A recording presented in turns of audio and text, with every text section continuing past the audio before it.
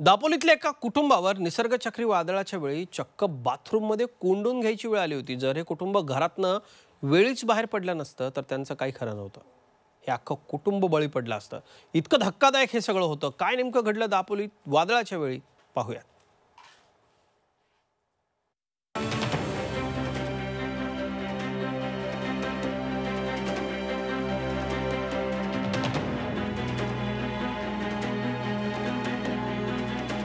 निसर्ग कोपला की काय होऊ शकतं हे या दृश्यांवरून लक्षात येत आहे दापोली तालुक्यातल्या पाच पंढरी आणि हरणे गावात असं एकही घर नाही ज्याचं नुकसान झालेलं नाही.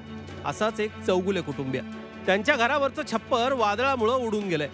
ज्यावेळी वादळ आलं त्यावेळी घरातून बाहेर पडण्यासाठी या कुटुंबानं केलेली कसरत भयानक होती.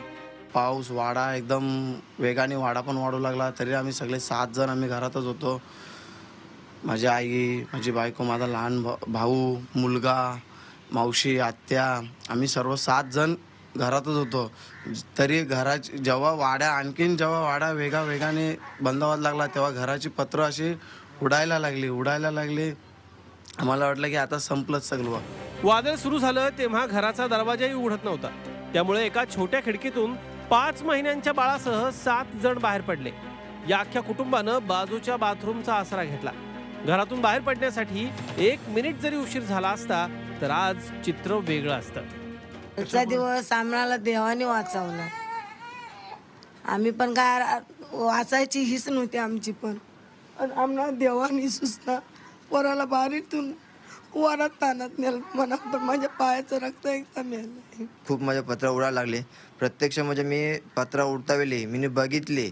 म्हणजे माझ्या स्वतःच्या आईला बाहेर काढता येईल खिडकीतून. म्हणजे मी असं संपूर्ण घर असं उठतोय का माझं? म्हणजे उडायला लागले. मग खिडकीतून बाहेर पडलो आम्ही. मग सुरक्षित मला मी बाथरूममध्ये गेलो. निसर्ग चक्रीवादळानं दापोलीत आतोनात नुकसान केलंय.